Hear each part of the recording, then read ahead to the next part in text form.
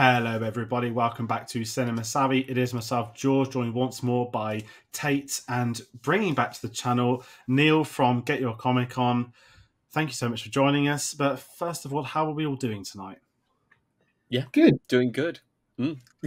Lovely. Uh, we are doing a new episode. This is the Mount Rushmore series. I guess we can officially call this season one.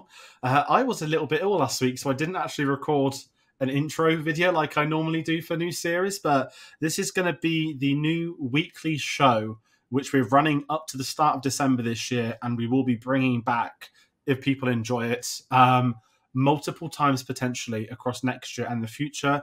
Basically, it's a great way for us to do a, a, short little series whilst we're not doing any big retrospectives, and it enables us to bring a lot of people for a somewhat more civilized discussion than other types of videos we've done in the past. And we thought, well, episode one, introducing it for a brand new audience. Let's do something personal. Nope. Um, we'll do that in episode two. We'll announce episode two at the end of this video today because Beetlejuice, Beetlejuice is out in cinemas this Friday, and we thought let's kickstart with Tim Burton. There's been a lot of people rewatching Tim Burton films online. Beetlejuice had its premiere in Venice. It's had its premiere in the UK. Our review is going to be up tomorrow as well. In fact, the time this video goes up, Tayte and Neil will be watching it in the cinema.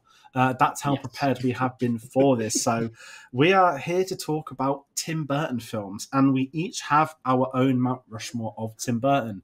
Now, for those unfamiliar with the Mount Rushmore concept, you may have seen it used a lot in sport discussions online, or apparently this is a pub conversation. I did have it asked me once for wrestling. I've never had asked in a pub again, but it does qualify it.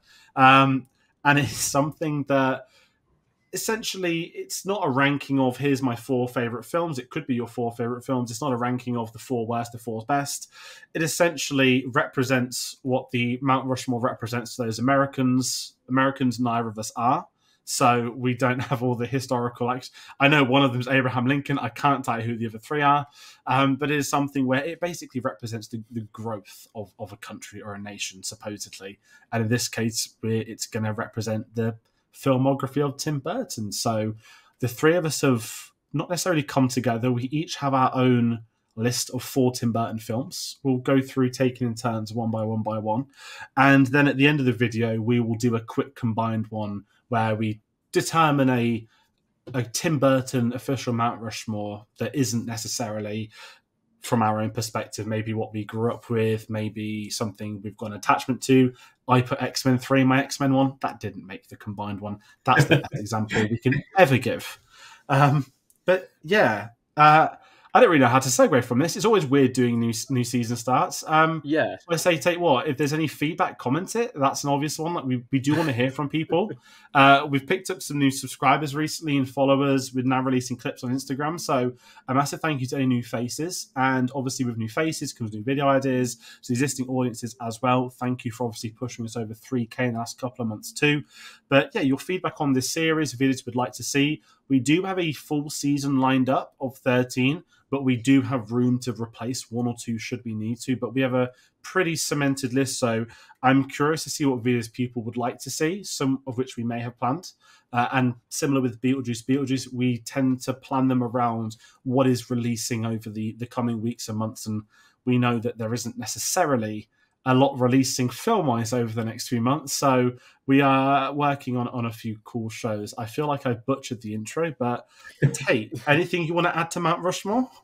Um, no, um, other than the fact that it may not be our favourites, it may just be, like you said, things which are close to us, or things that have a certain memory with us, or maybe just a discussion point that you want to bring up. Um, and we love to see what people have as their own Mount Rushmores in the comments and everything like that. And you know, we love your engagement. So please leave a comment below of your Mount Rushmore for Tim Burton films, and of course, if you have any suggestions as well, um, we do have a plan.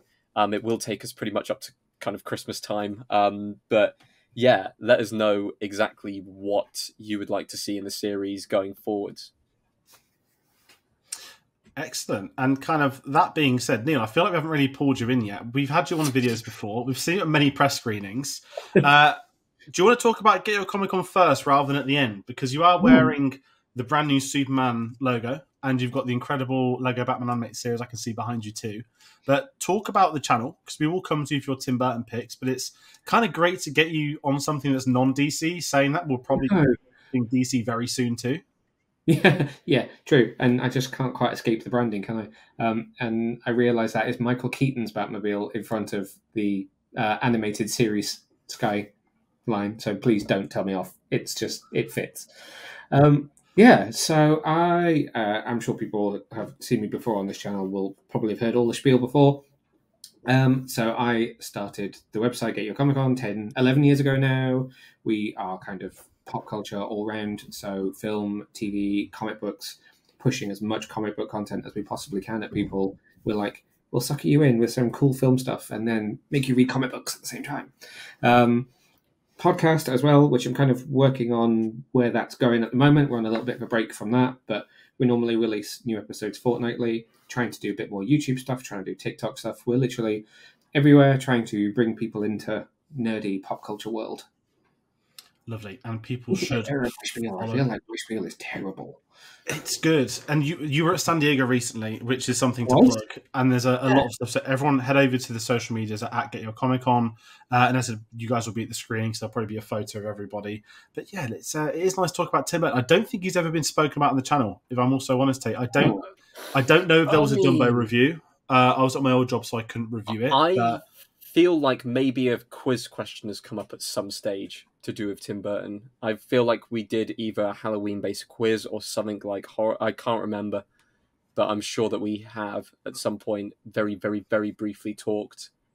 We've reviewed Miss Peregrine's. Other than that, I don't know. Like, I I haven't even seen the TV series he did. Oh God, uh, the, Wednesday. uh, Wednesday. Wednesday, Um, yeah. and that's that's a great plug. Don't worry, Wednesday's not on the list, but we are including. You may recognize from the thumbnail, and there may be some very snobby person. Oh, you've got a thumbnail of a film not directed by Tim Burton. Uh, we are including The Nightmare Before Christmas. Uh, on the basis that has Tim Burton's written on the title, and he is so heavily involved. It's the Yeah. one film everyone in the world doesn't realize he directed. So we we have discussed and allowed that in as an exception. Uh, it's a very weird one. We don't normally do this kind of thing, but uh, the thumbnail looks great, so therefore it was decided. Um, but starting with the mountain ready to get in things, Tayte, we're going to head over to you. And For people at home, we're going to rotate one to one. So Tayte will do a pick, I shall do a pick, Neil will do a pick. We'll talk about why we picked this film, maybe its impact on us, why we think it will be on the Mount Rushmore, and then we'll do that through to the four, and then we'll do the combined one at the end, just in case people are following. Um, do you know what? I'm I'm going to start with kind of what we were just talking about. Um, I'm not going to go in. Um, I was tempted to go in um, release order, but you know, just kind of hearing the words Tim Burton's Nightmare Before Christmas made me think. Do you know what? Let's talk about it straight away. Um, Tim Burton's Nightmare Before Christmas is my first pick on my Mount Rushmore. Um, this is easily the most watched Tim Burton film um, in my household and that I have seen. I think I genuinely cannot count the amount of times I've seen this. It's almost a yearly basis at this point. Some years I've seen it two times. I've seen it once at Halloween and once at Christmas. It is just an all time classic. Does not age. I mean, the animation is fantastic from Henry Selick. Um, you know, Tim Burton wrote for it. The cast is phenomenal. Danny Elfman with a speaking role and also doing, you know, the music for it just the vibe, the aura, everything. It's given Hot Topic a um, a good sales base for well over um, two decades now, and you know what? Um, it will always be a classic. Whenever I think of Tim Burton, I think of this film, and it's not even a Tim Burton film. It's it's phenomenal in that sense, um, but you know, I I personally cannot think of another film that is more iconic when being attached to his name than a film that has his name on it. So that is why it is uh, my first pick.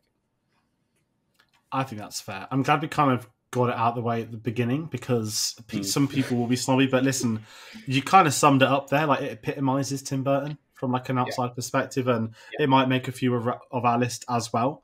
Um, so I'll save off talking about anything more with it in case it does. But it is they've just announced the Lego set, and everyone was talking about it, and then it then it came out that Tim Burton had had creative control on the set, and that's they were kicking off. There was no Mister is it Oogie Boogie, uh, the villain, Yeah. And they were saying that because of Lego licensing, they were only allowed to do X amount of characters, and he wasn't one of them. Um, but yeah, the, the Nightmare set looks incredible, uh, and that'll be again when that comes out later this year. It'll be massive. And the film has the eternal question: Is it a Christmas film? Is it a Halloween film? Uh, and we'll let other people argue that out. I saw it for the first time It's last both. year. It's both. I saw, I saw it in between. It was. Uh, I Mm. just checked Letterboxd. It was November the eighteenth last year, slap bang between Halloween and Christmas. The cinemas knew what they were doing. Um, if, if I do my first one, I'm going to go in with a controversial one. Uh, I, I'm not going to do this in every video, but it, it might sound like it because I did something similar in the X Men one. Uh, I'm going to go with not necessarily the first Tim Burton film I saw. Uh, I'm going to go with a Tim Burton film that probably had more of an effect on me growing up than than any others. Okay. Uh, a film that uh, I think, unfairly criticised a lot online, and some people are living uh, in a decades gone memory of something else. But I'm going for Charlie and the Chocolate Factory. Um, Hmm. Now, the reason why I, I mentioned is a bit of a personal thing. Listen, like many, like many, not just my generation, many generations, you grew up with Roald Dahl's books. He's one of my favorite authors growing up. His books are wonderful for young people to read, teach you a lot about life, all that sort of thing. I love Giant Chocolate Factory, and this film came out. I want to say the summer of 05, and I was nine because I remember it was this massive ordeal. They made replica Willy Wonka bars. You could buy them. They had the cane. This film was massive when it came out, and I loved it. And when I think of a Tim Burton film, I genuinely come to this over anything else. I don't know if it's because the opening scene brings you in with the titles, the music, the chocolate. Let's let's state the obvious. Any kid's going to enjoy the opening sequence, but you really dig deep into this, and it kind of has everything that a Tim Burton film had for decades. You look at the cast, you look at the people, you look at the the set designs. I actually think are superb in this film, and I completely get the Johnny Depp criticism, the Michael Jackson comparisons. That he's not the the Willy Wonka of old. He's this weird, a different version. It's got Christopher Lee in it. What's not to love? So I'm going all out with and Chocolate Factory. Um, again, some people might hate it. A lot of people dislike this film. I I get why, but for me, it, it worked so well growing up. And I'll be really honest, I was gutted we didn't get a and the Great Glass Elevator. Then you get a little bit older and you realise that Roald Dahl blocked anyone from ever doing that sequel. Um, Mhm. But I actually think this is not to be the whole adaptation thing, especially with Lord of the Rings out this week, but this one's nearer and dearer to the book than the original one, which Roald Dahl also hated. Um, but yeah, does anyone want to shoot me for saying that? Because I I love this film. Yeah, I'll I'll load up the shotgun. Um, I I I almost picked it um as as a hate pick. I I, Oh, I don't God. like the film. I don't like the film. Um, I watched it when I was younger, but um, I do have fond memories of it. And I told the story to Neil beforehand, but I remember having a um a dodgy DVD of it where the audio didn't quite sync to the visual, and halfway through it cut off like a bit of the start and you know it came back around so i don't know if that's why i have not the best memories with this film where the film only became you know watchable you know after you know the entrance scene with the um with all the kids kind of going into the factory but everything burning down with that that's when it became watchable which is yeah so i don't know if that's kind of the memory and that's that's what's doing it but i was never a fan of it. But I completely understand because you know we grew up at the same time, and that was absolutely a generational thing of that was there at the time, you know. So I, I completely understand it. Great songs, though. Great songs. Yeah. Mm. Even the the terrifying burning chocolate bike things before the factory, it's catchy. It's playing in my Yeah. head as we speak, and Yeah. I, I love the score. And the thing is, there's going to be so many great Danny Elfman, Tim Burton, you know, films with one another, but it feels like in the noughties there was a very distinct Tim Burton style. Like not to get into like the auteur filmmaking type thing, but this was one of them. Like you know, this is a Tim Burton film straight away, first thirty seconds, and nothing's really happened. And uh, again, I get why some people are going to dislike it, but it's kind of made my list. It probably wouldn't make many other people's, but yeah, I still love the seventies one, and you know what? I keep forgetting there was one last year, and I also kind of like that too. Bar Timothy Mm. Chalamet singing. Um, he was very good at everything else. The auto tune was not so good. Um, but uh, yeah, uh, segueing over to, to Neil for your first one. Okay, so I'm gonna I'm gonna bring us back, and I'm gonna say Nightmare Before Christmas as well. So I'm gonna I'm gonna spit it out there as my first one, just so that it's we we cleared the table of uh, Tim Burton's The Nightmare Before Christmas.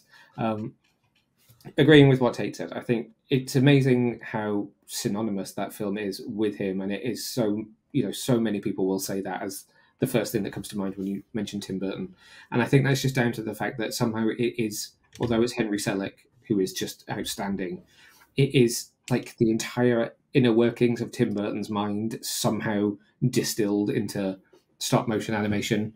I mean, the design work, the the whole story of it, everything is just pure him, and it's it's funny when you do tell someone for the first time that it's it wasn't directed by him and he didn't make it. You can just see people being like, "What?" Like, it's crazy. But also, um, and obviously this isn't necessarily a Tim Burton thing, but um, Danny Elfman's score is just and songs and singing it's just incredible. I've been lucky enough to hear him sing songs from it three or four times now live, and it's just it's so like chills every single time. But music from this was played at my wedding as well, which will come up a couple of times as I go through my um, my list. But my wedding was Tim Burton themed. Um, so thanks for inviting me on this episode. Uh, so, like our wedding invite was the spiral, all of the music that played during the ceremony, and as we were kind of doing photos and stuff, was Danny Elfman music from Tim Burton films, and so that one for me, just some of the music from that is just why I had to be on my list. That's incredible. Right. Uh, I'd love to see if you if you ever bought send me a photo of an invite if you've got any because I'd Oh, love it to was, see them. it- Yeah. I mean, everything. All the tables were different Tim Burton movies. So the top table was The Nightmare Before Christmas. Um, like the centerpieces were these crazy wonky top hats with like black twigs that were all covered in spider webs and purple leaves, and everyone's gift boxes were black and purple striped, like boxes with cupcakes in, and yeah. Even the even the wedding cake was like a jaunty angled purple and black cake because it was just Tim Burton all the way. Amazing. That's phenomenal. Yes, we got purple. I'm glad we got purple in the thumbnail. I tried the black and white spiral, but it just didn't work with the uh, the mount at the front. Um, but yeah, a lot of testing. But let's um let's head on to the second ones. Tayte, do you want to go next? Yes. I feel like we might have some more overlaps coming up. I'm not going to lie. So, so my second one, um, I was debating um, between one of two films here, but realistically, I went with I had I could only pick really one of them. Um, I'm talking, of course, of the two Batman films that um, Tim Burton did. Um, I went with Batman '89. I went with the first one, and I think the reason why I picked this one is because this was my first experience of watching Batman on the screen. So this was the first Batman film I'd ever watched. I'd seen Spider Man um, 2002 and like I'd, I'd seen the spider-man films first but this was my first time watching batman. And even though this isn't like sorry keaton you're not my batman and you know the older batmans even the schumacher ones they're they're not my batman films. My batman films you know came a bit later um, with christopher nolan. But for me i have distinct memories of watching kind of this Batman in this really kind of creepy city that you know was seedy but also kind of had a bit of flair to it. And you know seeing Jack Nicholson as the Joker I have distinct memories of kind of watching his performance for the first time so even though I think I prefer the second film that he did with Batman this film sticks in my mind a lot more I feel like I've got more memories of this and watching it for the first time. So that's that's why I picked Batman eighty nine. It's so many people's first experience of Batman. It was mine. Um, Mm. Quite a lot longer before, probably either of you guys. Um, I wasn't old enough to see it at the cinema. I'm just going to point that out because it was a 15 in the UK back then, um, and I was only four.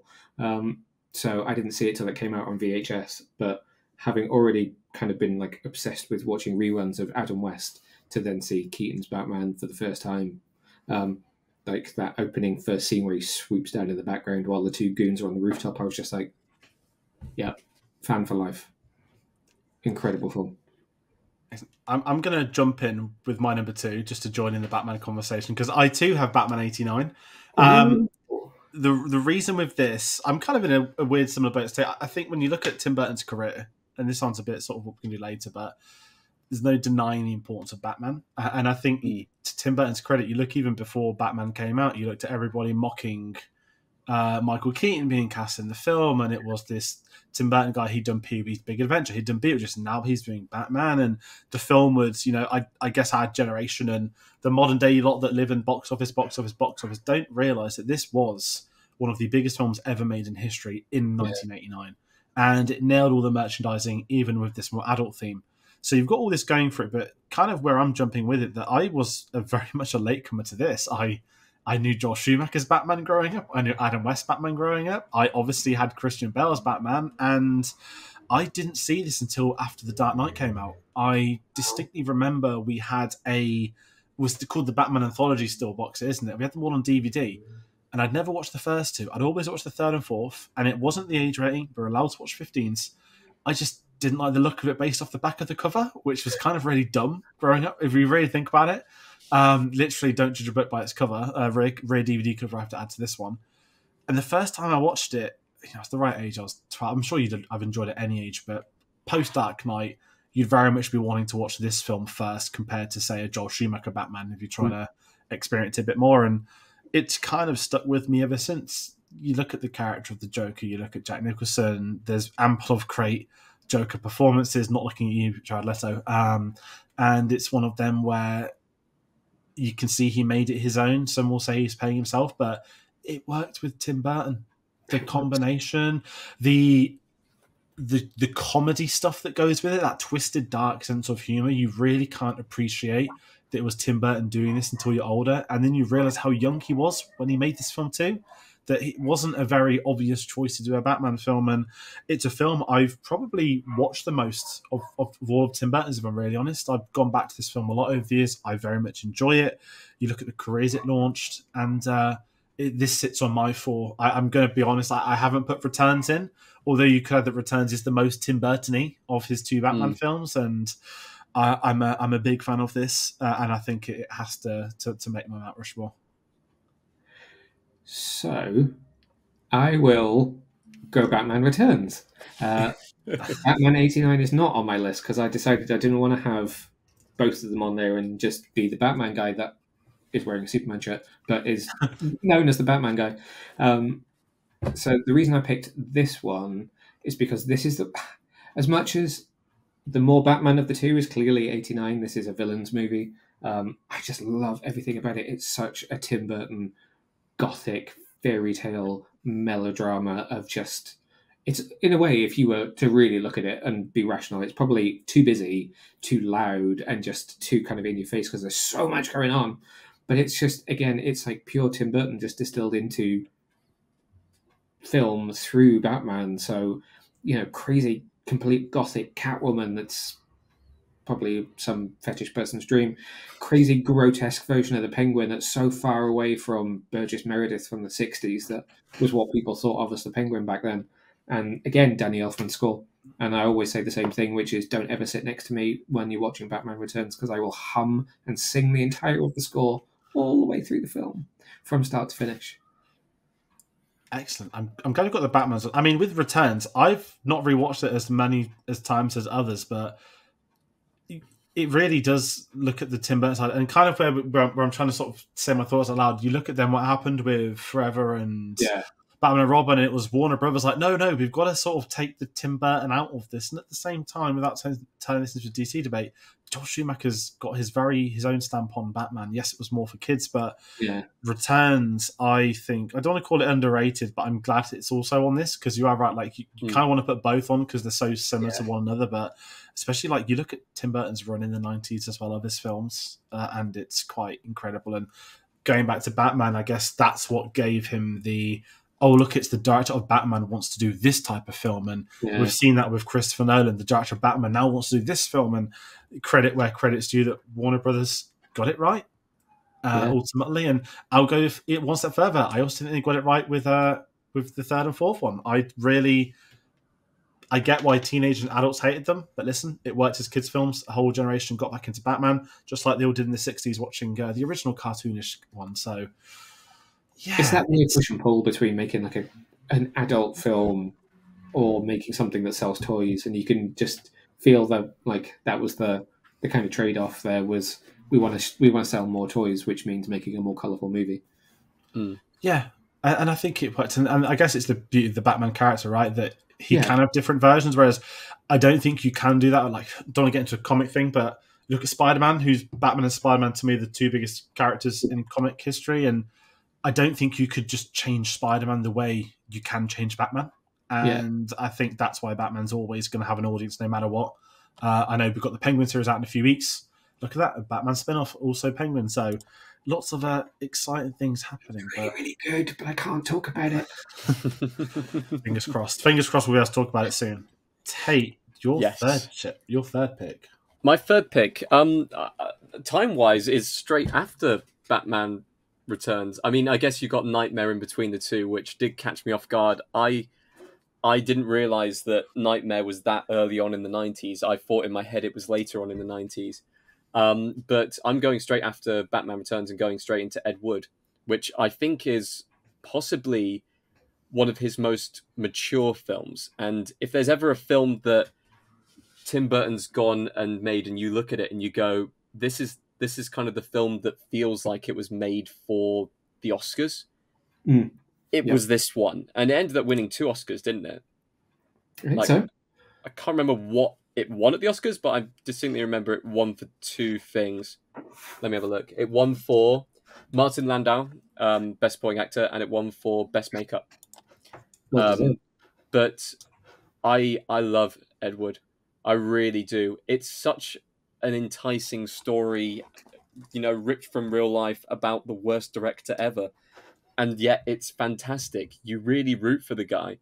And, you know, Johnny Depp, I think, is is one of his most kind of not magical performances, one of his most kind of enigmatic performances. He really does mm-hmm. kind of like light up the screen with every single scene that he's in and bring all of the characters forwards, all of the acting performances forward, just because of how kind of, you know, how kooky and how kind of, you know, driven he is to, you know, realize his dreams. And, you know, he's learning the industry and he's going through all those things. And it's just fantastic um, how it's presented throughout the entire thing.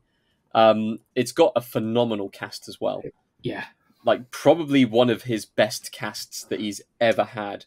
Um, looking down the list of like Johnny Depp, Martin Landau, Sarah Jessica Parker, Patricia Arquette, Jeffrey Jones, Vincent D'Onofrio, Bill Murray, uh, Mike Starr. It, the, it's just stacked. It's so stacked and so well put together. And as a person who's seen Plan 9 and actually watched the film and sat down and gone through it and then seen this film, it's magical. It's it's kind of what the disaster artist was, you know, for the previous kind of generation as kind of the insight into how to make a terrible film, but how things can go so wrong with good intentions.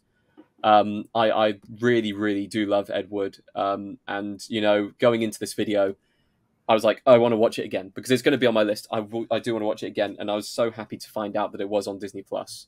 So go go and watch it, you know, if you haven't. And yeah, it is. So um, go and watch it if you haven't, and you know, rewatch it if you want to as well. Yeah, I noticed it's on Disney. They've got a good, uh, not restoration of it. They've, I think they've got like a 4K cut, so it's been very up to date and it's very good on there. There's a few Tim Burton films on there. I know he's just spoke about Disney on his Beetlejuice 2 press tour. Uh, nothing flattering to say about those. I won't recommend Dumbo, but it, if I go into my third pick, I am. I know my timelines are all over the place. I'm getting further back to what I've already done. I'm picking Beetlejuice no, it's not just because Beetlejuice 2 is out and this video is for that. I watched this the first time last year, and it was one of those Tim Burton films that not like oh I hadn't ticked it off, but it was I was going for a patch like I need to just watch more, not like classics, but I've got a load of films I own I've not seen. I want to see more from directors I like that I've not necessarily seen some of their biggest work, and Beetlejuice was one of those ones that pops for, for Tim Burton, and I loved it. I did not know what to expect. I think I was most shocked that Beetlejuice isn't actually in it for that long. 17 um, 17 plus hell. And I was like, wow, this really isn't a story about Beetlejuice, is it? And I think, I guess you look at the marketing, you look at Halloween costumes, you look at everything. It's fair to presume why I thought he would be, but I actually had a blast with it. I, I thought it got the delicacy of not necessarily horror, but the comedy side of things, the drama side of things. Like you really dive into the meaning of that film and, and what it is about and the grief, and you're sort of thought, wow, like he did this for his wait, checks his second ever film after Pee Wee Herman, and you can see why he would then go on to have the career he did. But you know, you, you look at those segments with the puppets and the the crossing of that into the real life stuff. I thought it was an incredible showplace of showcase of him as a director working mm. within his means. And I have this right up there with his other films in terms of that Tim Burton look, the Tim Burton type film. I don't think I could do this list without it. And as we mentioned, the cast with Edward as well. You look at what these guys have gone to do, and obviously Michael Keaton spoke about Batman already, but there's a reason he kept, you know, I'm going to cast you into my next film, and without slagging off modern day audiences, it's kind of that people were outraged in the 80s, and back then you didn't just tweet abuse, you had to actually write letters, which they all did. Um, which is more insane. And uh, at my old job, when I was based at Pinewood, a, a lot of the walls are behind the scenes photos from films that are shot there, and there was so many of Tim Burton and Michael Keaton. It was such a big thing for them to, to have them work. There. Obviously, that was on Batman, but Yeah. it was one of them where I really enjoyed Beetlejuice. And without plugging the sequel too much, I'm looking forward to this. I'm glad I saw it a long time ago, like a year and a half ago.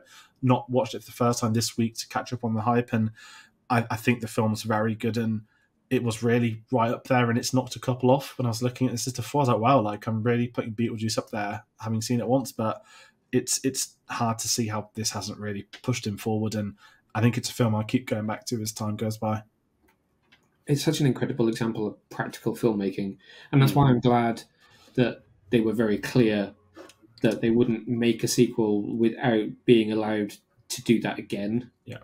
because I wouldn't like to see this with all CGI effects, because I feel like that's where he had a bit of an awkward spot, maybe in the sort of noughties where studios were doing less practical stuff and pushing towards more VFX, and I feel like some of his identity gets lost in some of those films where it's more visual effects heavy.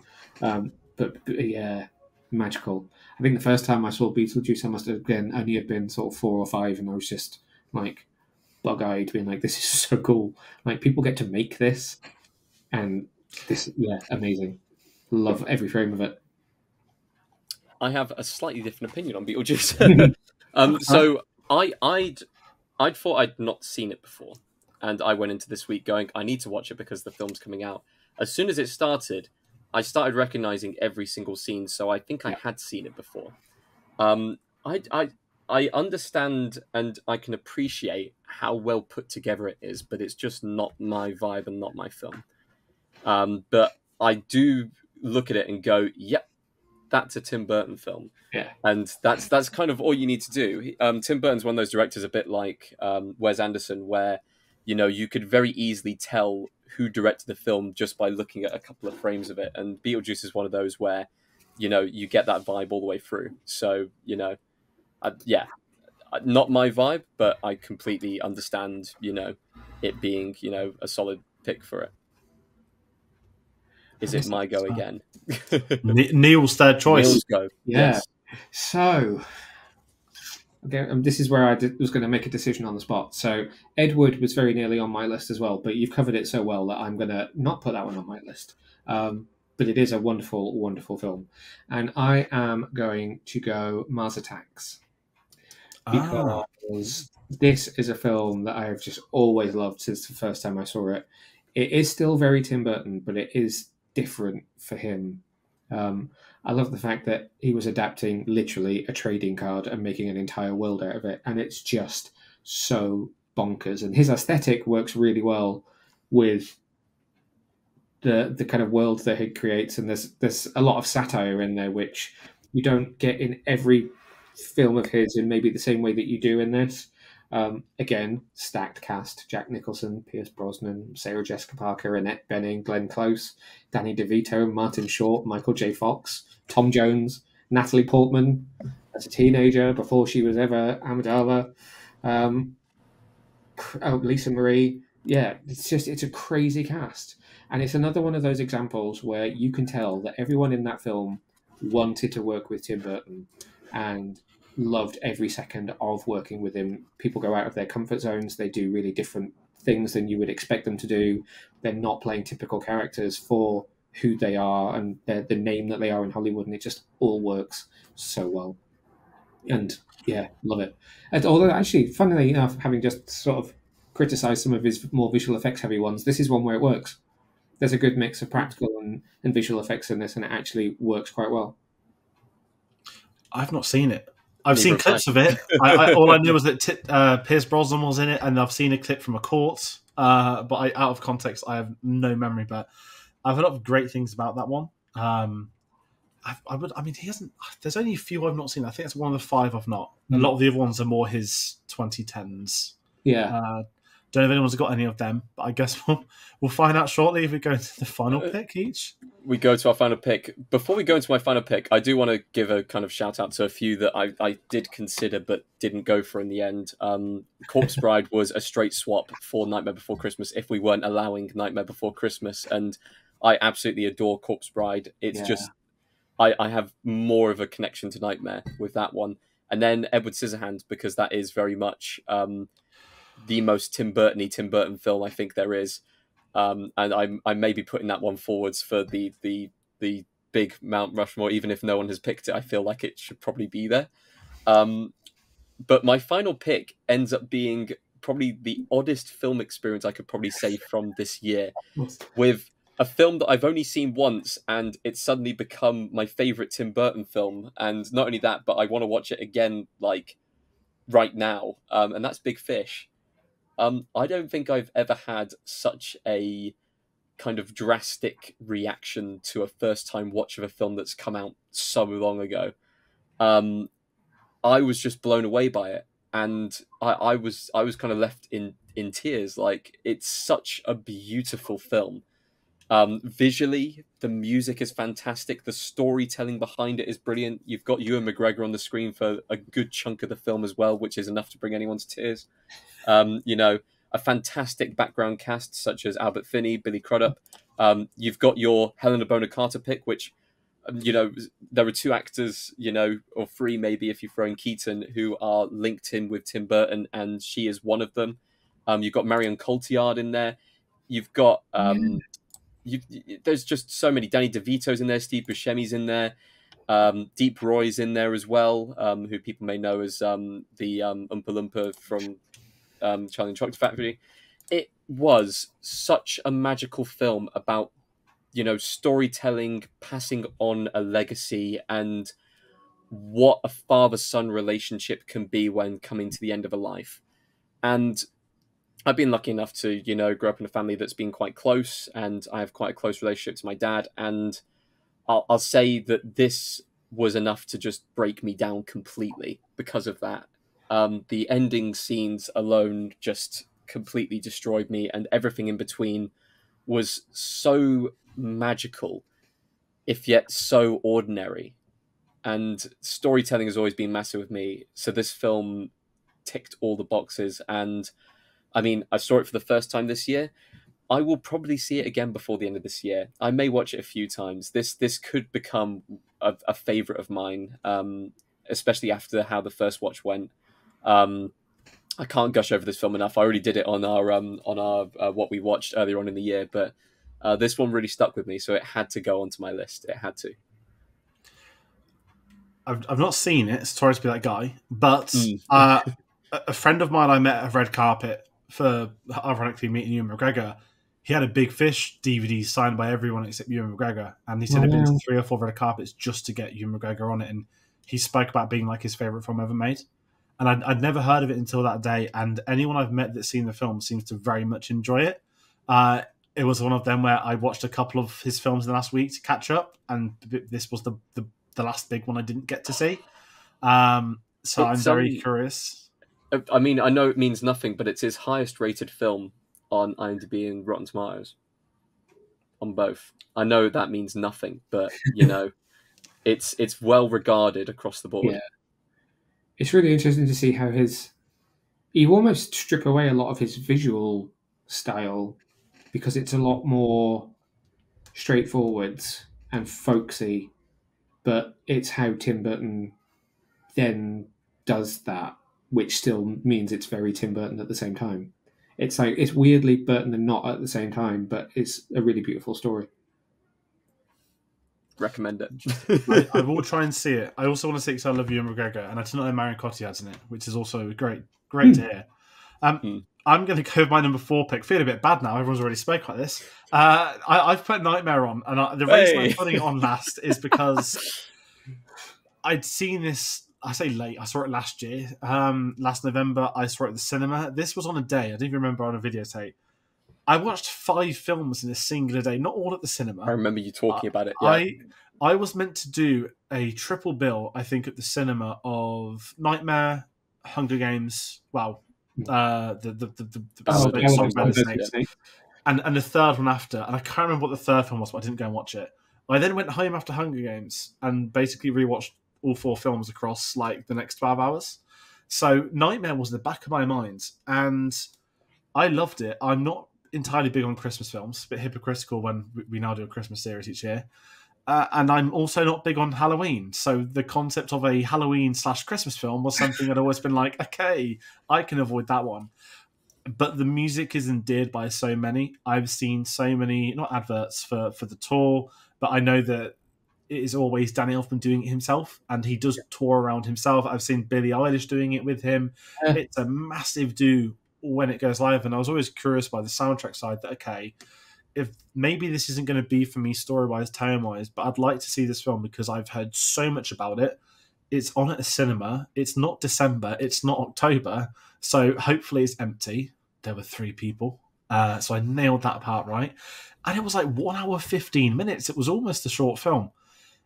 And I really enjoyed it. I did not know what to expect. Again, I, I didn't know the songs, I'd known the images, but I, I really enjoyed it. And it was actually a lot more adult than I thought it would be. I thought it'd be some, you know, kiddie Halloween type thing, but there's some really gruesome stuff in this. And I, I thought it was great. And it's kind of where we spoke with this that we're letting it on this list. And although Tim Burton didn't direct it, it's what you mentioned earlier. It's it's his imagination that's been brought to life. And really, if you put so many of his films together, this might be the one where if you put everyone in a room, just pointed to a shot, say which is a Tim Burton film, they'd all probably go to this over anything else, which Yeah. is that crazy irony. I know that I don't know if his exhibition started in London yet, but there was going to be like an art exhibition Mm. more than like a prop and costume thing, and it's uh, it's really interesting to see this film and obviously his attachment to it over the decades. Danny Elfman's too, and I, I think it's rightfully on this list, and I can't imagine not putting it on this list. I know sort of three of my picks are quite early on in his career, but it I can't drop it from my mind. I almost did put Sweeney Todd on, and I know that is very mixed with people.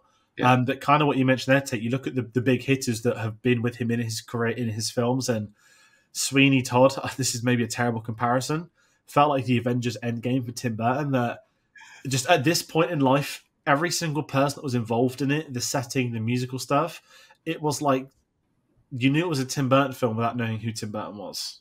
And I remember seeing it, I didn't even know it was a musical, and I don't like musicals at this point in my life. And I was like, oh, there's singing, but someone got chucked into another, and I was like, wow. Um, so it's it was almost Sweeney Todd, but it's it's not. I, I've I've made the right choice. I know, and also Sweeney Todd and China Chocolate Factory is two years apart. It's kind of the same cast overlapping at points, and I've got to go China Chocolate Factory. But yeah, my fourth pick's Nightmare. I should have just said it first, shouldn't I? Just done a clean sweep out the way.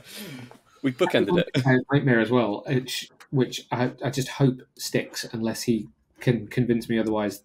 I'd love that they have never gone back and made a sequel, despite the decades of Hot Topic, which you very, very rightly pointed out, the the, the decades of emo kids wishing they were Sally, um, despite any pressure from any of us who grew up with it, who loved it, who still love it, who still go and watch it at the cinema. I love that they have never ever cashed in and made any form of sequel. You put him in your Disney video games. Jack can appear in crossovers or whatever in your video games. Don't make a sequel unless you really, really, really have the right thing, because you will ruin one of the most perfect films of, uh, I think, the entire generation. Could we say that him talking about Disney recently rules out anything else? You can imagine a post Beetlejuice 2 if it's great, the whole world's like, go on, Tim. Now let's get back to some of your early films again. Like you, I know he didn't do Addams Family, but doing Wednesday was, uh, mm, I'm dipping back into something that's been done. And you are right. It, I'm surprised it hasn't been done. At the same time, I'm, I'm glad it hasn't. And Yeah. I, I don't know what you could do. Don't, don't bring back Oogie Oogie Boogie. That was a pretty painful way to go. Uh, he's doing the Lego set. Get get the Lego sets going. You know, you. I think it's the town they're doing, and the Yeah. moon is an actual Lego set, which people are very excited about. But um, yeah, it's it's one of them where it's popularity, and I, I don't think the popularity put me off going to see it. I think sometimes a film pops up to be seen at the cinema, and I'm like, you know, I've never seen it, and I'd like to see it at a cinema. I'd concentrate yeah. better, I'd enjoy it better, I'd have a better experience. And okay, it was a Saturday morning, and there was three people, but there wasn't rows of children screaming, shouting, singing. It wasn't a sing along. It was a, whew, this is nice, this is calm, uh, and then we'll go watch all the other films after. Yeah, I saw it at the BFI IMAX. That was the last time I saw it at the cinema. They put it on last year. Um, the rest, the, the new restoration or the most recent restoration of it at BFI IMAX, and it looked amazing on that screen. So for a long time, they put it out at Christmas in 3D when the when 3D was really in a boom, and they did the 3D Blu-ray of it. It would always come out every year for you to sit and put your glasses on and go and watch it. But I was never that keen on watching it in 3D because it doesn't it it works, but it's not amazing in 3D. But seeing it in IMAX 2D was amazing. It was like watching it for the first time. Excellent. I want to see it in cinema. yeah. You, you pick up some of the really, really fine detail that you can easily miss, like um, Zero's nose being a pumpkin and stuff like that. Because for years, having only watched it on DVD, I didn't realize his nose was a pumpkin.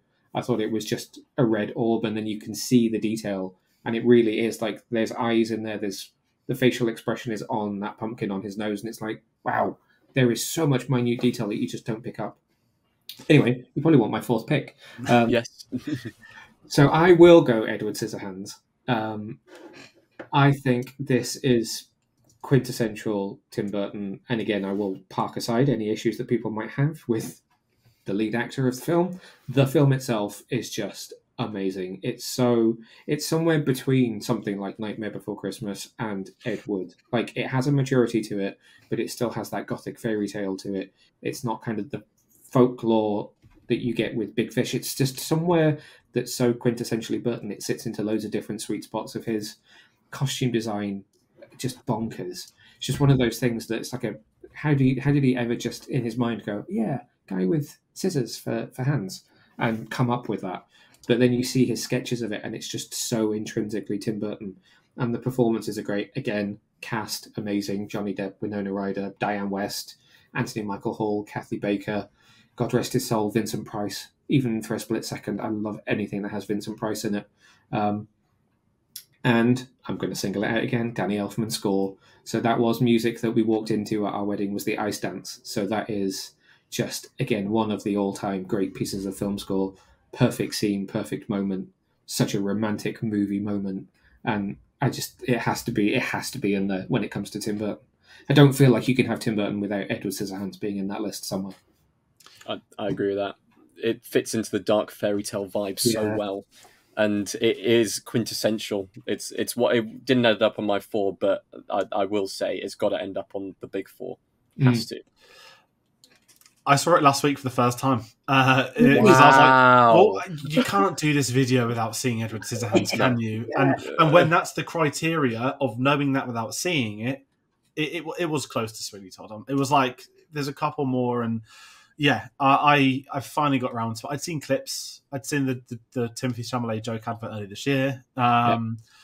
but I I didn't really know what to expect if I'm it's, really it's, honest, because I know I know it's a film about a man with scissors and hands, but I didn't know what the extent of that was, and I actually um I really enjoyed it. I kind of understood understood it if that makes sense. The first time, like, yeah, now I get it. Um, and yeah, I don't think you said it's it's quintessential and kind of sticking with it. If, if, we head into the before we head into the combined one, let's let's go through everyone's Mount hmm. Rushmores mm. again. Uh, we'll have a, a, lovely Photoshop edited to go for each of us after, which I'll be editing and post. Don't worry. Um, but Tayte, do you want to very quickly go through your four? Yeah, sure. So my four were The Nightmare Before Christmas, uh, Batman '89, Ed Wood, and Big Fish. Lovely. Okay, I've gone for Charlie and the Chocolate Factory. Sorry, I'm laughing. I don't mean it to be a really, really bad pick, but it really is on my list. Uh, Batman '89, Beetlejuice, and uh, Nightmare Before Christmas. Neil. And so I went for Nightmare Before Christmas, Batman Returns, uh, Mars Attacks, and Edward Scissorhands. Lovely. I mean, we've gone 50 minutes, and this has been great. And again, this is with this video series, it just lets people bring on.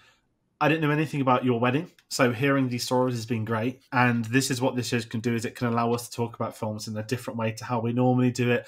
No ranking, no fighting. We might do some fighting in a bit or another video for the combined list, but yeah, it's I like this concept. It feels a bit different, Yeah. and where we kind of go with this is a combined one. And uh, I- I, mean, I'll be really Nightmare's honest. on there, right? yeah, I, I was going to say right. Ni- Nightmare made all of us, so let's um let's Yeah. slap that on as the first one. We know Nightmare Before Christmas is locked in. Um, do we feel like we? I mean, we each had a Batman film. Do we? he- he- Here's a genuine question: Do is, is it eighty nine or is it Returns? For if we're looking at a an outright a Tim Burton Mount Rushmore, I will be really honest. I actually see it being Batman Returns, even though I I prefer eighty nine and I I look at his career and I feel that Returns is more of a Tim Burton film, and this poses the great question: um, What do people think should be on there? I'm pretty neutral. I'm, I'm not gonna kick up a fuss with I'm- whatever someone wants on. I'm reasonably neutral, but I will say, setting up his career, Batman '89 True. did that. Mm, good point. So it's whether it's because, like I said in my bit, I prefer Batman Returns, but I've put Batman '89 there because I feel like career-wise, it set everything up. So that's the only debate that we'd have to have. I'm very neutral on it as well because my preference is Batman Returns, but it's worth considering that. Yeah. I would Neil, we'll give you the decider. Oh no! Oh god! Picking between my favorite children. Um, I actually think probably I I agree. I think it should be eighty nine because eighty nine opened so many doors, and it opened the doors for Batman Returns to exist. And it was it was kind of like a hey, if we can do this thing, then look how crazy we can go with this. So I I think eighty nine deserves a spot.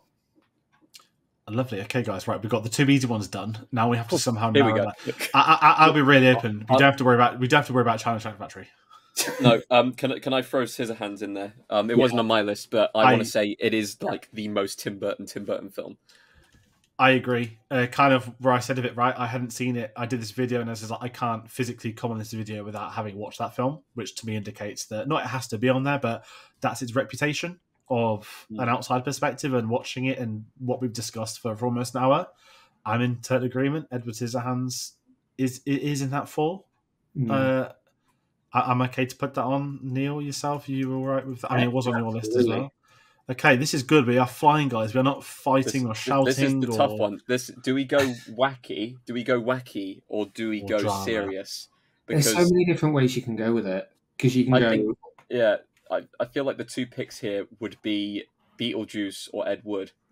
Personally, And then, but then you've also got like you've got Pee Wee, which may not necessarily be a film that people jump to, but is that was his His first first film. You or, or you even go 1984, so before Pee Wee, and you go with the short uh, film version of Frankenweenie, which is stop motion. No, was that stop? That wasn't stop motion. That was the live action. Sorry. that was the live action one. Yeah, the live action version, which kind of was what even made him able to do Nightmare Before Christmas because he made those shorts at Disney and they were like, okay, this guy has a cool aesthetic here. What can we do with this? This this is this is a really this is going to be tough. I, without naming films, i- in my head, I'm looking more at an because Tayte said Edward or Beetlejuice. Um, I'd, I'd love to throw Big Fish into the mix, but I, I- know that that's no, not going to get this it is- on there. no, no, no, no, no. I, I, I disagree. This is where I'm going. I'm, I'm leaning more toward. I. I haven't seen Big Fish, but looking at Edward, looking at Big Fish, they're almost not even traditional films. I mean, Edward's opening titles are insane, um, great, insane. But then you strip it back, it's more of a biopic by Tim Burton, and we've seen him do dramas, just not as many. But I still think they are a forefront of his career.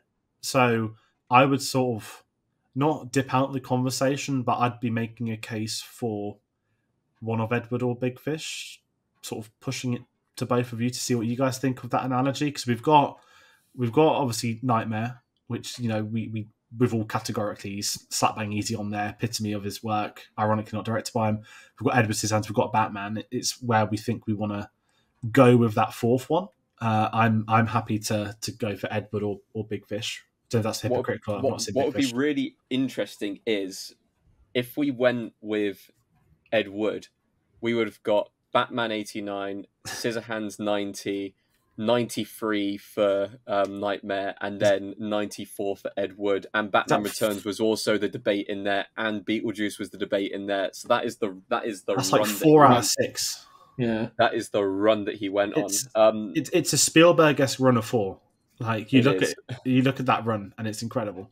Um, and that's not a bad thing either that we're we're looking at No, those films from that 100%. era because that I mean, his God, golden era. we're, Yeah. we're, we're tricky doing this with what he's done like what 16 17 films um imagine doing this with spielberg with 35 yes he hasn't made the list for season one but christ almighty that's gonna be a devastating video when the time comes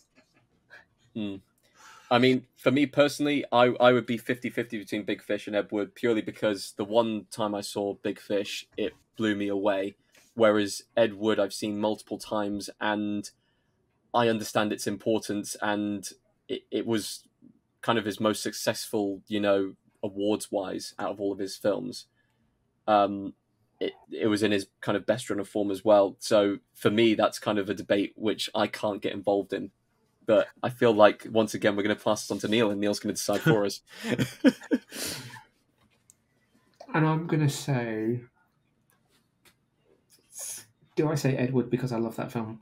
My rational brain is saying I should say Big Fish because I think it's so loved and deserves more love. Let's go Big Fish. excellent Big fish. big fish is in so looking at this the combined tim burton mount rushmore we have nightmare before christmas batman 89 edward scissorhands and big fish i think that's a pretty great list if i'm honest you, you look at his and you look at his That's career right and this is this is this is the logic of the Mount Rushmore, right? Do those four sit on the top of that mountain? I think we've made the case, and the answer is yes. And this is where this series goes when we have trickier subjects such as this with someone whose work is that not only varied, but obviously that I, Yeah. don't know what, I don't know what you say about Tim Burton. What imaginative, wacky, successful, endearing, addictive. Like you watch a Tim Burton film, you kind of want to watch a few Tim Burton films because Yeah. he just has is the definition of auteur filmmaking. I know it's an overused term, but it is the correct term. He's always been an auteur from sort of day one, and his career's really had that. And I think it's a very good Mount Rushmore we've done without blowing smoke for that reason. That it's kind of what this series is, right? It's more of a celebration. People will of, disagree. no, and, and that's okay. And we want to hear those people. We want to know what makes their Tim Burton Mount Rushmore and what have we missed that's obvious that we're not. Someone somewhere is screaming, saying, "Planet of the Apes, where are you?" Uh, my my, my sister is Mark Wahlberg. screaming. You haven't mentioned Sleepy Hollow. Yeah. That's Classic. or you know Alice in Wonderland. The Hmm. 3D film after Avatar. That was my first 3D film. Uh, our cinema got 3D Wow. installed at March that year. Um, and Mine was Christopher um, Lee voiced the Scooby-Doo dragon thing. 2. Yeah. But oh, yeah, I, I mean, listen, it, it's weird doing these videos because it's not as aggressive. It's more of a, a lovely Chill. discussion. And if, if I'm really honest, I think we've we've done a pretty good episode too. It's really episode one, isn't it? Like X Men was a glorified pilot, and thank you, Aaron, for being on that. But now we know we're, we're doing this as a series. It's quite exciting knowing we've got more of these because it isn't.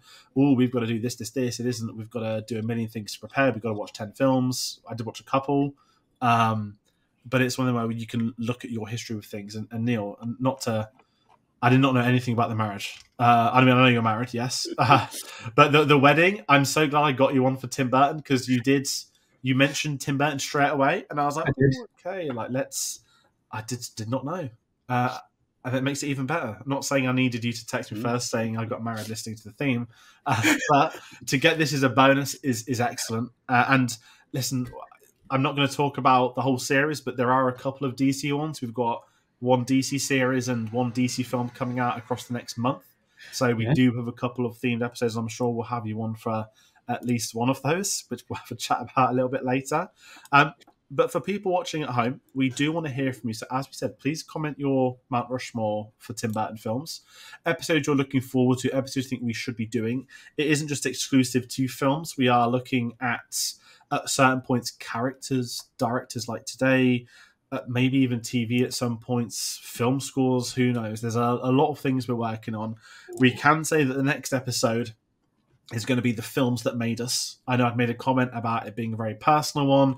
It would have been a great way to kickstart the series, and we've been able to fit that in for episode the next episode after this. And we think it was right doing Tim Burton first. I think this is a, a lot not better discussion than that. We haven't recorded that yet, but that's going to be. This is more like look at all discussing what we know. Next week's going to be almost maybe therapy at one point. Like this is the film that got me through this. Tayte's like, oh no, what's George done? Um, but yeah, it's uh, it's it's how I'm segueing out of this. Neil, we mentioned you're on at Get Your Comic On. Everyone, please just follow, subscribe him on there. I know you you've still been rebuilding the YouTube with a really random Warner Brothers deletion a couple of years ago. Yeah. Very strange. Um, but you mentioned you've been to San Diego. You've got a lot of things you're working on. There's a great Alien Romulus gala reel as well, which you can check out. Um, what else have you got coming up? You're allowed to talk about. I guess that's Uh, so I have been watching Penguin. I have seen five of eight episodes. I can talk about that from the 12th of September. So there's going to be lots of com- stuff coming up for that. So um, make what you will of the embargo being several days before it, the first episode drops. Um, just dropped my review of Only Murders in the Building season four, which I'm really, really enjoying. Um, if you've watched that and were a little bit disappointed with season three, season four is a big return to form. It's really, really great. I've seen most of that. I think it's just three episodes I've not seen. Other than that, pushing San Diego interviews at the moment. I got to interview lots of cool comic book creators while I was there. Um, and that content always needs a bit of extra love. So I'm pushing some comic book stuff at the moment. Lovely. And I said, everyone, please follow Neil on there. Tayte, what else we got? I mean, Times Video Game, you're watching Beetlejuice. Beetlejuice, we'll have the review Yes. out tomorrow. Um, a film I'm looking forward to. Uh, given what you said about the first now, I'm kind of excited to, to, to hear what you have to say on that. So, people stick around for a review coming on there. What else we working? We've had so much TV recently. Neil The been Penguin. all TV. I mean, Rings of Power is starting soonish, isn't it? It's out to uh, the day of recording. It's, It's out, out today. today. The first three episodes. It's it's getting good reviews. I'll be I'll be honest. I'll probably catch it toward the end. I've been watching a lot of TV recently, and I'm I'm enjoying this series. Was like, oh, I got to watch a few Tim Burton films. I got to watch films again. Um, uh, not just cinema trips. I got to watch films at home, and there's a few Tim Burton ones streaming on Disney Plus for anybody curious. So do check them out. Uh, if you want to find us on our social medias, linktree.com slash cinema savvy, that will put you through to our letterboxd, Instagram, Facebook, Twitter. We are using Instagram a lot more now. We'll do clips from episodes, including today, uh, and we put them on YouTube Shorts as well, so people can look at little clips here and there. But that is going to do it for this episode. Neil, thanks again for coming on. Tayte, as always, I'm excited to see the future ones. We mentioned next week is going to be the films that made us. That'll be going up next Tuesday, the 10th of September. So, once again, thank you all for watching, for supporting us. We'll see you on the next one. Take care.